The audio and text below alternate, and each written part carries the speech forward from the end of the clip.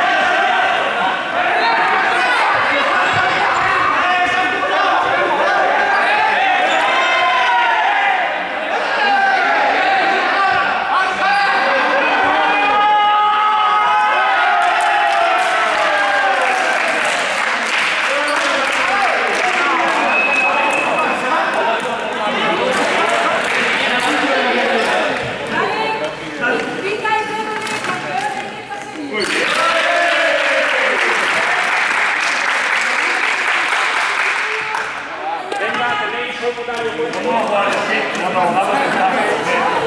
you.